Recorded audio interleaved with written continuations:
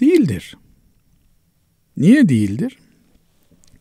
Çünkü Kur'an-ı Kerim erkeklere söyle yahuddu min absarihim gözlerini yumsunlar diyor. Haramlara bakmasınlar diyor.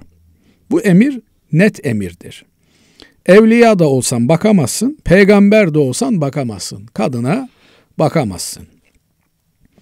Kadının bakılamayacak yerlerine yani eli yüzü hariç yerlerine efendim e, affedersiniz açılmış geziyor. Bana ne kendi kendine saygısı yok ki.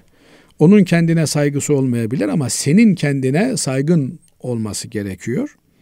Sen bakamazsın. Bir de öyle bir manzara ile karşılaşacağın yerleri de önceden kestirebiliyorsan oraya da gidemezsin. Gözünü korumakla mükellefsin ama eline yüzüne e, eğer bir e, teşriki mesai söz konusuysa efendim e, bir hanıma bir şey satacaksın veya bir şey alacaksın. Efendim bir konuşacaksın, edeceksin. Usulünü, adabına göre e, bakabilirsin yüzüne. Fakat şehvette yüzüne de bakamazsın. Yani e, şehvetle ne demek? Bunu söyleyince de anlamakta zorlanıyor birileri. Onların lisanı ile ifade etmek gerekirse mobbing yaparak bakamazsın. Yani öyle bir bakışları var ki adam bakışlarıyla e, taciz ediyor. Öyle bakamazsın kadına. Ama insani bir ilişki çerçevesinde bir şey soracaksın, bir şey öğreneceksin, bir şey satacaksın. Elbette bakabilirsin. Burada hocam e, yani ekrandan diye not düşmüş ama bir fark var mı? He, şimdi e, ekrandan diye düşmesinin bir farkı var mı meselesine gelince e, ekrandan değil de canlı olarak izliyorsun diyelim ama kadının farkın, farkında değil. Onunla ekrandan izlemenin bir farkı var mı?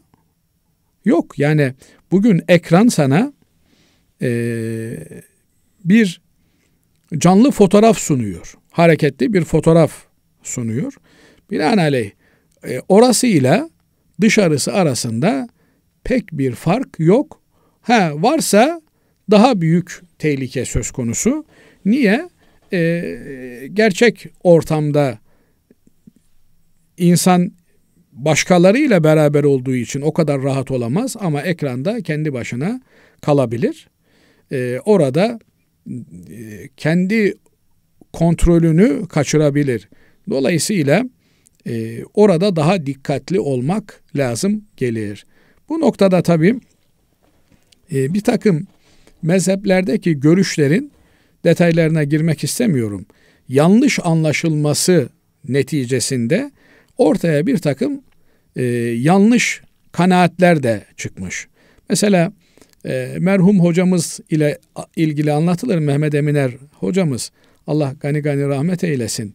E, ben bizzat şahit olmadım ama öyle e, dinle, söylediklerini dinledim. Hoca efendiye soruyorlar at yarıştırmak caiz midir diye. Hoca efendi diyor ki sünnettir diyor. Yani müsabaka yapmak niye? Çünkü at yarışları cihada hazırlıktır. Cihada hazırlık olduğu için de e, sünnettir. Efendimiz Aleyhisselatü Vesselam teşvik etmiştir. Fakat soruyu soran bahis oynamaktan bahsediyor. Yani at yarışları üzerine kumardan bahsediyor.